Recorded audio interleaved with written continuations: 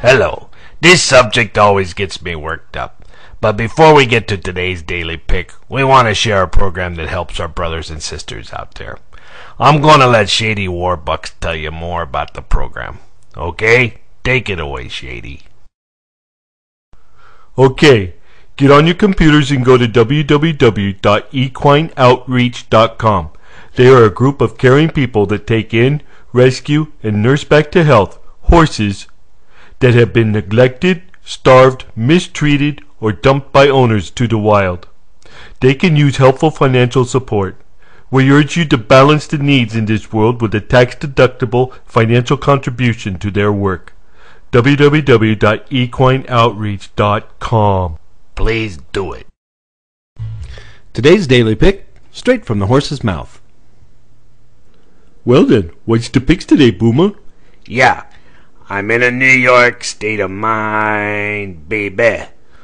Oh, in a New York moonet. Ooh, every time I look, I'm in a New York moonet.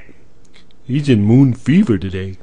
Yep, still liking moon horses. Aqueduct, race six, number seven, New York Moon.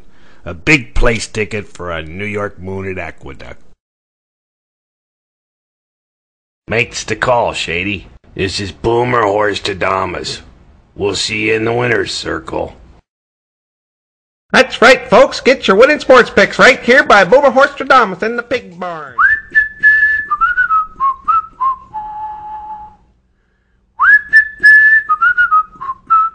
Take it away, Shady.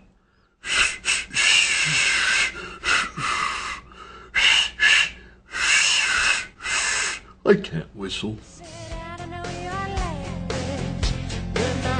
My